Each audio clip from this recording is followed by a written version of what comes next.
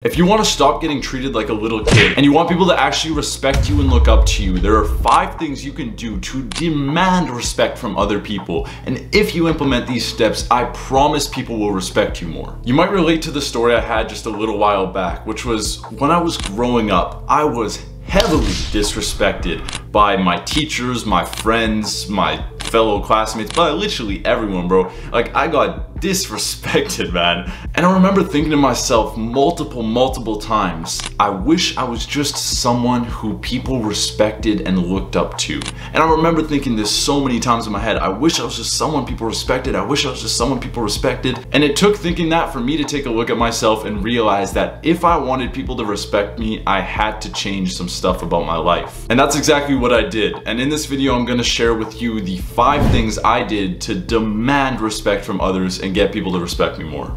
If you're new here, my name is Adam Blondin. I'm a 15 year old kid. I just make these videos for absolutely 100% free to provide as much value as I can from what I've learned on going on this self-improvement journey for close to three years now. So if you are new, go down and click on the subscribe and post notification button. It helps us both out. The first thing I did to get people to respect me more was I realized I had to stop acting so immature. So since I was in about third grade, I was always the class clown. I was always the guy making jokes and, you know, disrespecting others to try and get laughs out of my friends and, you know, even disrespecting my own friends to try and get other friends to laugh and things like that. And by the way, I didn't even have many friends. But I was always that guy that was trying to crack jokes. I was always that guy that was, you know, I used to do that thing where you walk down the hallway and you bump into other people and people would always laugh and be like, ha ha ha, he's bumping into other people. And let me tell you, other people did not like this. It makes so much sense. Why would people respect me when I would literally not even respect them in the hallway? I would walk into them and like start bumping into them. Of course people are gonna treat me like shit. Of course people aren't gonna respect me. And once I realized this, I stopped doing all the little stupid immature things. I stopped acting like a little kid. I started reading books. I started acting more mature. And once I did that, other people started to treat me with more and more respect. The second thing I did to get others to respect me more was I did the hard things that others didn't want to do. So for example,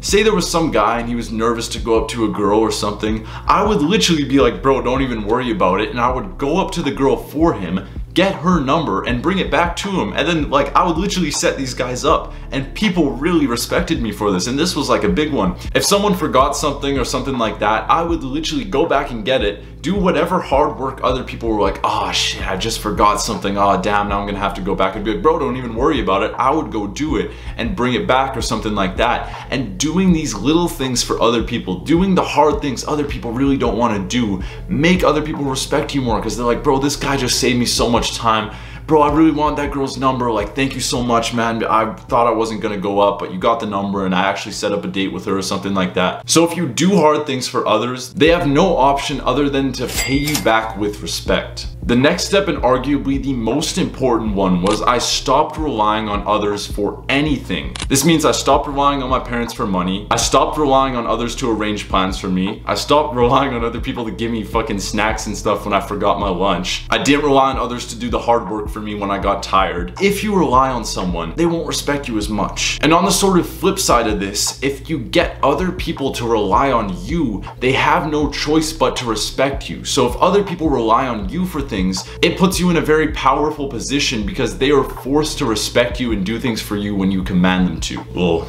a lot of power for you boys there. The fourth one sounds like common sense, but most of you guys aren't doing it, including me just a little while back. It's treat others respectfully, and they might just treat you with respect back. I know, crazy, right? Absolutely mind blowing. But if you treat others with respect, most of the time, not all the time, but most of the time, they will respect you back. So the simplest way, forget all the other steps, if you could just do one thing, actually treat others respectfully if you want them to respect you back, obviously. If you don't, then fuck them. It doesn't even matter what you do. And most of the time, if you treat them with respect, they will treat you back with respect. Most of the time. Not all the time. Some people are just fucking bitches, bro.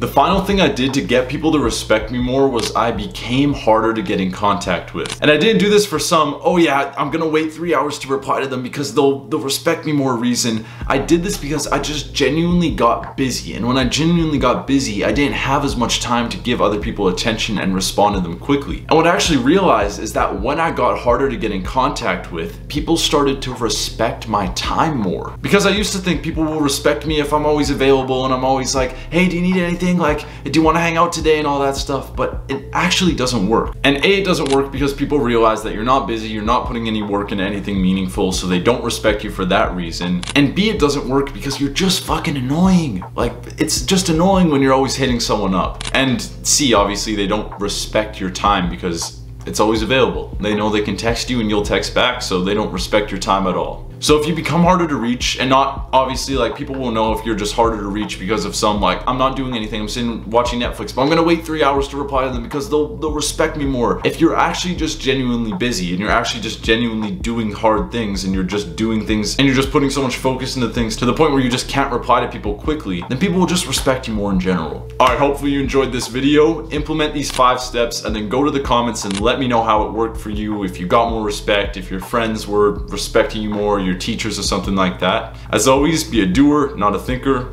and I'll see you in the next one.